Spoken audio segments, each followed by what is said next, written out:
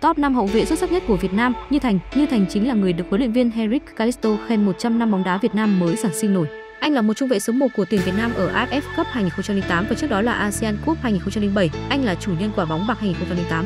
Trần Công Minh Trần Công Minh chính là một cầu thủ bóng đá kỳ cựu trong làng bóng đá Việt Nam. Anh từ giã sân cỏ vào năm 2002, vào các năm 1995-2000, Công Minh được xem là hậu vệ xuất sắc của Việt Nam. Quế Ngọc Hải Ngọc Hải được gọi vào tuyển từ năm 2014 và hiện là đội trưởng tuyển quốc gia. Anh đã hai lần vào bán kết AFF Cup với huấn luyện viên Toshiya Miura và Nguyễn Hữu Thắng, vô địch cùng với huấn luyện viên Park Hang-seo.